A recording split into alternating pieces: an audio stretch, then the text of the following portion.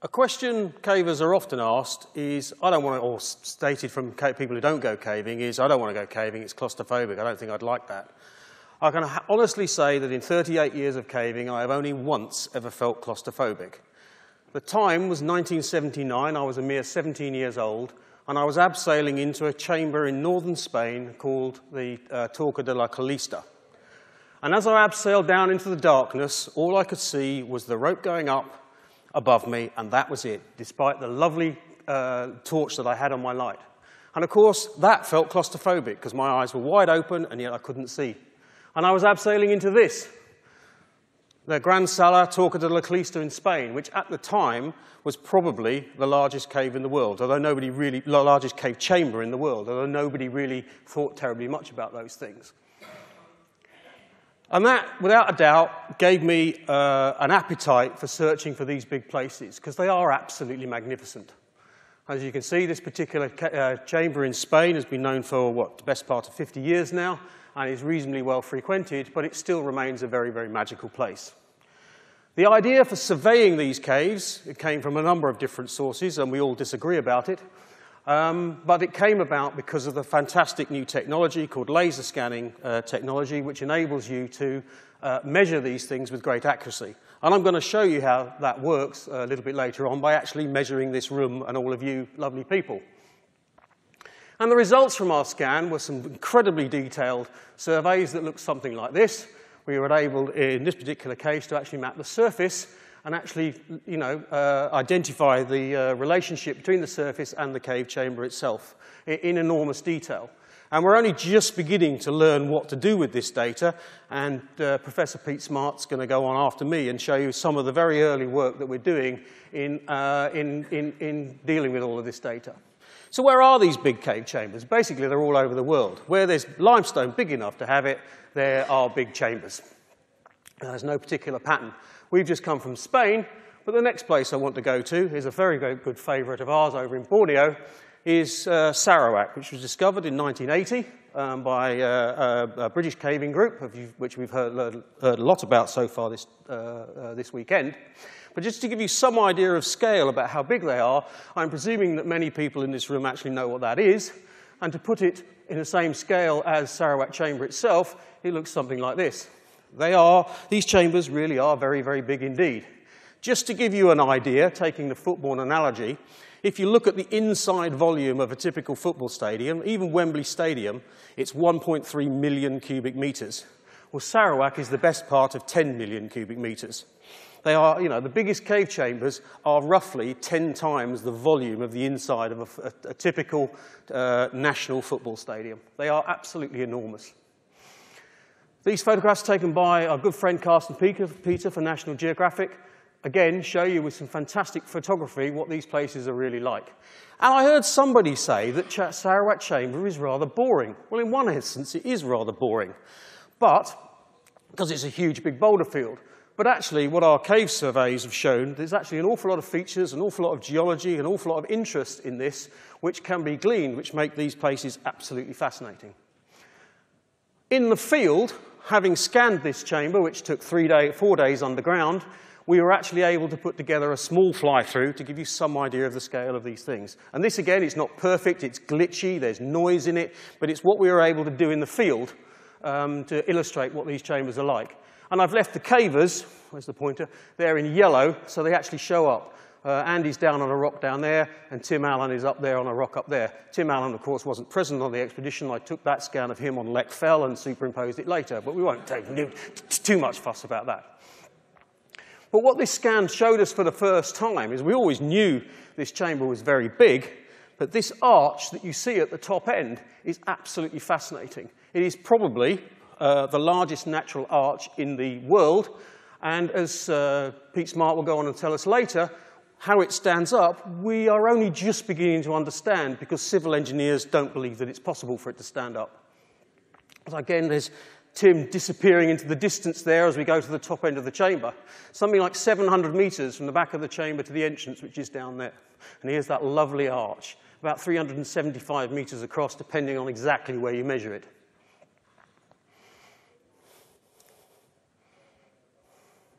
So let's take a look at another one. Another favourite of ours is a chamber called Cloud Ladder Hall, uh, jointly explored by Chinese, American, and a few other nationalities, and quite a number of Brits. It is an absolutely staggering place. It was always known to be high. This is a photograph by Robert Shone. I think we've seen it a couple of times this, uh, this weekend already, showing a caver abseiling in through a small passage which gets, gets into the top of the entrance. So everybody knew how that this chamber was very tall, but nobody really understood how tall. And our laser scanning was able to show this. And I'm just going to bring this up. It'll just take a second.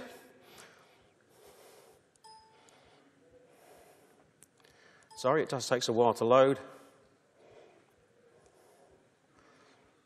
Just talk amongst yourselves.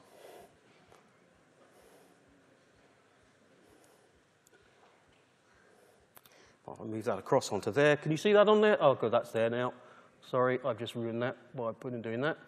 Okay, so here we are. Here's Cloud at Ladder Hall and you can move that around and have a good look at it, look at it and uh, generally see how things um, uh, uh, pan out. But you can do all sorts of things with this data. You know, you can cut a side away. I can cut the side away so you can actually, you know, look inside the chamber and have a look at the detail of the floor and the rocks and start to do contour analysis and all sorts of things to try and understand how these chambers work. But you can also do some fun other things, like if I just move out, put some well-known objects into the picture as well, just to give you some idea of the scale of it. Yes, you can fit the Eiffel Tower completely inside Cloud Ladder Hall. That's not a lie, that's absolutely spot on. It is absolutely massive. There we are, just to give you an idea. Yeah, Cloud Ladder Hall is taller than the Eiffel Tower, and if you take that horrible piece of rubble out of the bottom, you could fit the, the, the tower in without any trouble at all. Just fill that back, move on. Wonderful place. And here's another illustration here. This chamber, this uh, football stadium in the front here is actually the Bird's Eye uh, Stadium in Beijing, just to give you an idea of scale. And one of the reasons why the chambers are so much more, more massive than these chambers is that they're very high. Cloud Hall, we've seen, is almost 400 meters high. Um, uh, the one over the back end is Maus, of which more later, is about 250 meters high.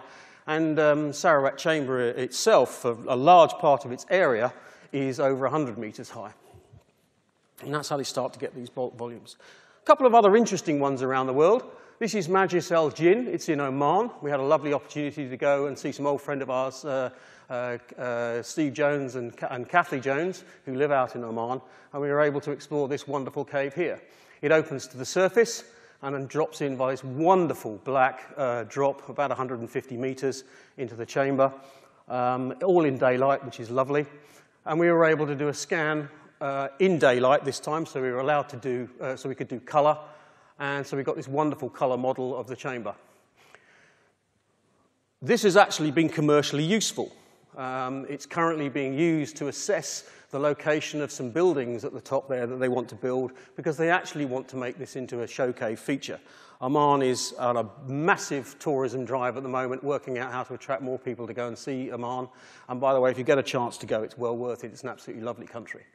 But this shows this sort of detail. This is the point cloud data that you get out of the scanner, colored because, we, because it was daylight and we could capture color, and shows you the sort of detail that we've got. Incidentally, this is just a mere fraction of the data that we've got. Uh, typically, we collect somewhere in the region of between 100 to 130 billion points of data in a scanning session. But if I was to put all of those on this screen, the computer would take three years to do about one second of movement. Um, so we only use a small sample of the points uh, when we're doing things like this. Uh, otherwise, the computing power just, just couldn't process it. And that shows you some of the sorts of things that we're doing. But you can see you've got all the bands, all the structures, all the rock structures. You can measure the slopes of the, uh, uh, the, the, debris that come out of the various different shafts if you wish to.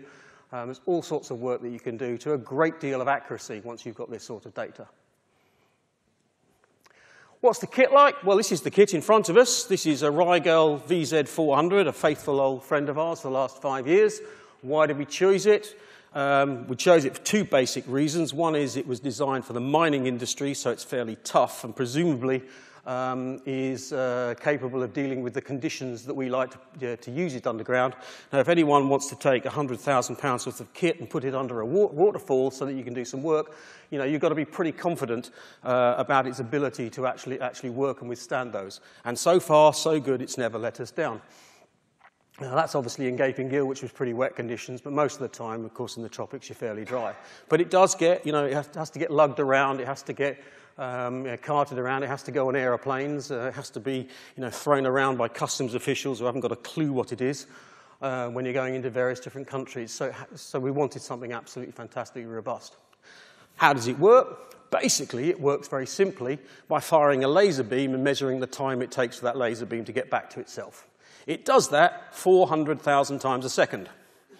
Yeah, so you can, gather, you can imagine you gather up quite a lot of data from one particular position um, about the environment that you're working in. Of course, you have to do that several times so that you fill in all the gaps of the cave.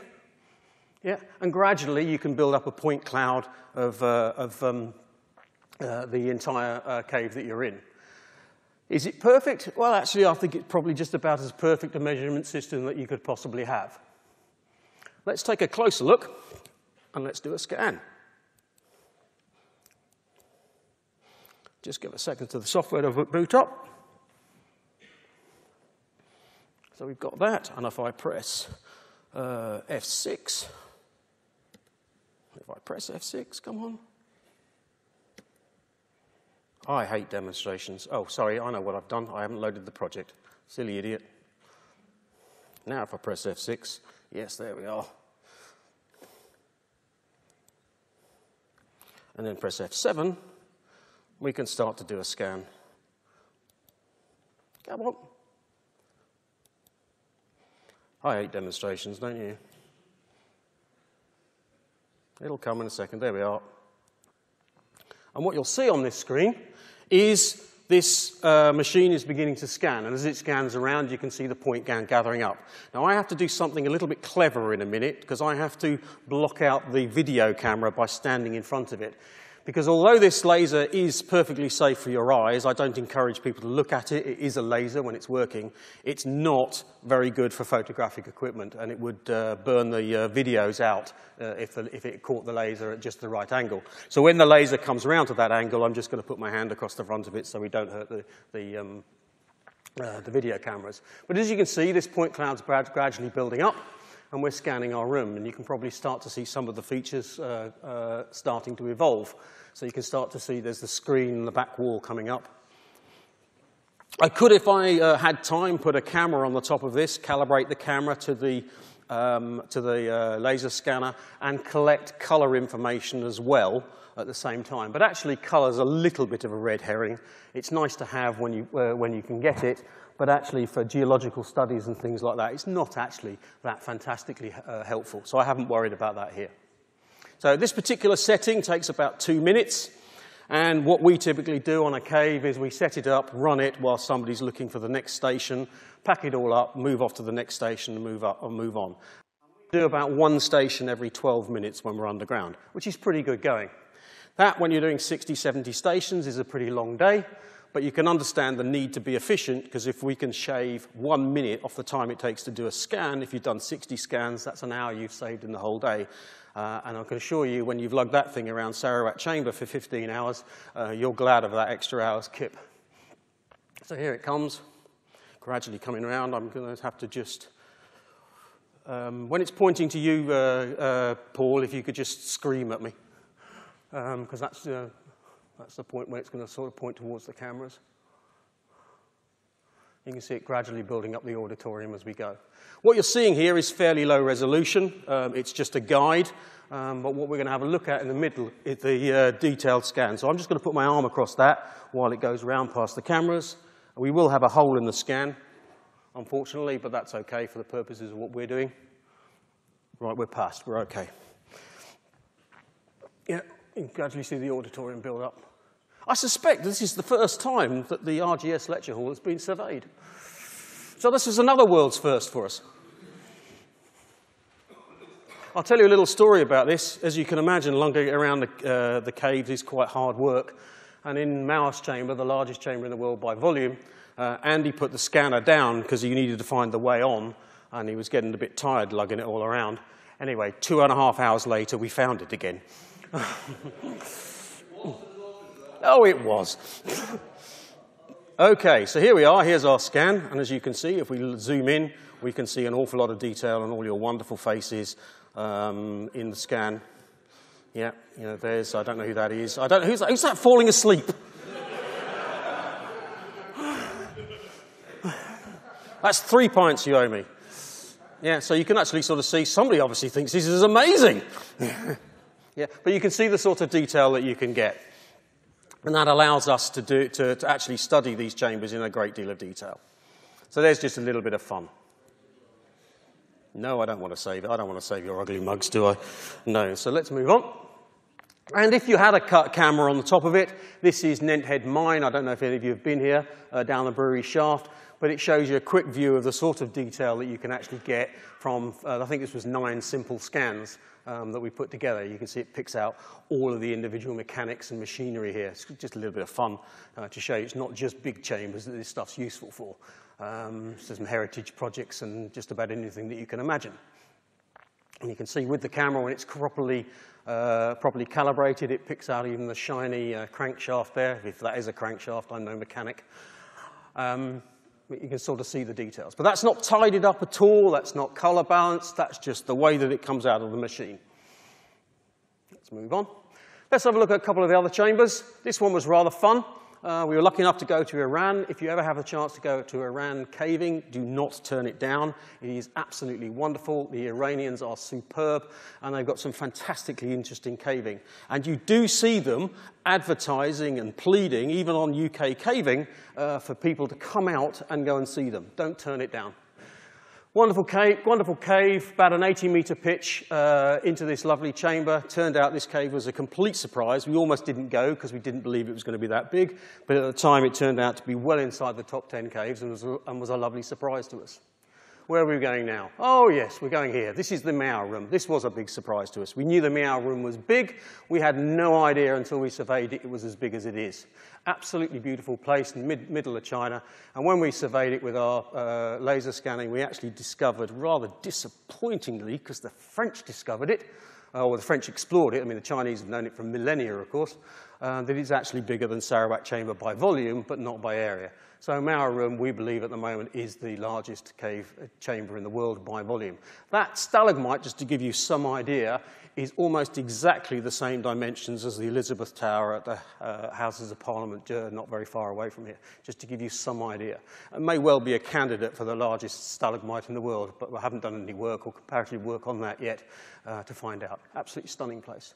So this is the results of our work. I do say at this point, so far, because there from doing this project, some other candidates have evolved um, which may challenge this.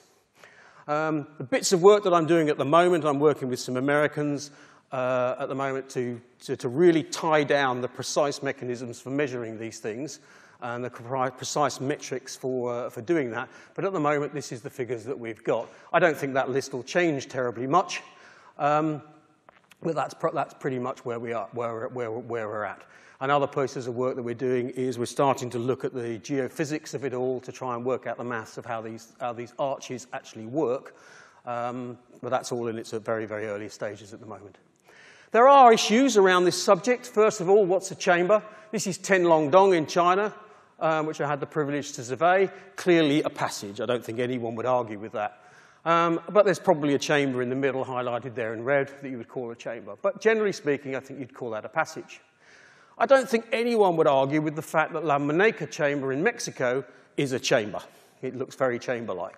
But there are issues. There is debate about whether indeed Miao Room in China is a, is a cave chamber or is indeed a passage. I think generally speaking, the, the consensus of opinion is coming down on the fact that it is a chamber because these various parts are interlinked and interwoven and, wouldn't, and don't stand in isolation.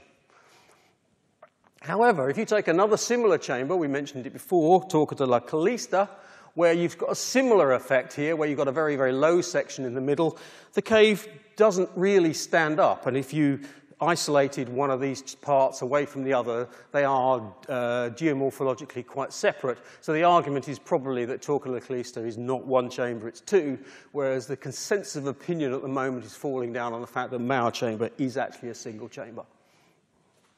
But there are other issues as well. We talked about Majlis Jinn uh, earlier on. I don't think there's any doubt that that's a chamber, but it's got a hole in the roof. Yeah.